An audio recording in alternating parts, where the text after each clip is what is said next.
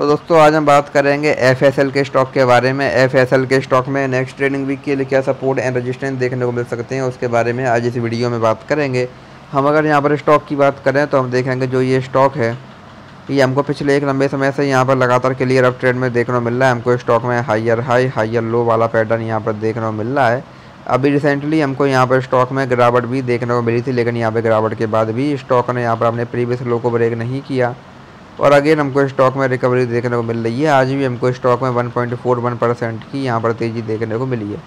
तो यहाँ से अभी हम स्टॉक में बात कर रहे हैं। यहाँ से अगर स्टॉक में ये तेज़ी कंटिन्यू रहती है तो यहाँ से अभी और तेज़ी की कंडीशन में हमारे पास यहाँ पर स्टॉक में टू ज़ीरो वन का पहला यहाँ पर रजिस्टेंस देखने को मिलेगा। अगर स्टॉक इसको ब्रेक करता है देन यहाँ से हमको स्टॉक में अगेन एक बड़ी तेज़ी, एक बड़ी बाइंग यहाँ पर देखने को मिल सकती है। इसके बाद हमको यहाँ पर स्टॉक में टू हंड्रेड देन यहाँ से हमको स्टॉक में टू ट्वेंटी एट और अगर स्टॉक इसको भी यहाँ ब्रेक करता है देन यहाँ से हमको स्टॉक में two forty three and then यहाँ हमको स्टॉक में टू सिक्सटी और टू एटी थ्री हंड्रेड तक के लेवल्स भी यहाँ पर देखने को मिल सकते हैं।